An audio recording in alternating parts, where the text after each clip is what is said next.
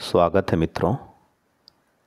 आज जो कविता मैं आपके लिए पढ़ने वाला हूँ, वो आपको नई प्रेरणा से भर देगी। कविता का शीर्षक है डर और कविता के लेखक हैं खलील जिब्रान। तो आइए कविता पढ़ते हैं।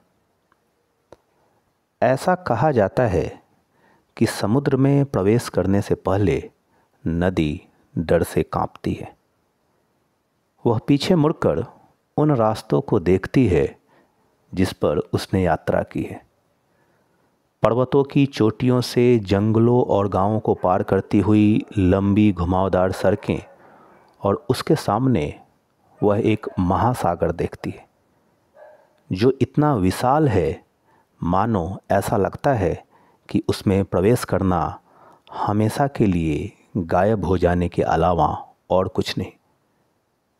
लेकिन दूसरा कोई रास्ता नहीं है। नदी वापस नहीं जा सकती। कोई भी वापस नहीं जा सकता। अस्तित्व में वापस जाना असंभव है।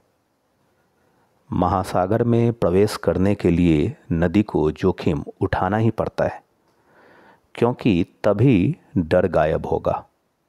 क्योंकि वहीं से नदी को पता चलेगा कि यह महासागर में गायब हो जाने के बारे में नहीं है, बल्कि खुद महासागर हो जाने में आशा है आपको ये कविता पसंद आई होगी। अगर कविता पसंद आई तो वीडियो को लाइक करें और इसे उन मित्रों के साथ भी साझा करें जो कविता पढ़ने या सुनने में रुचि रखते हैं। तो धन्यवाद, आपका दिन शुभ हो।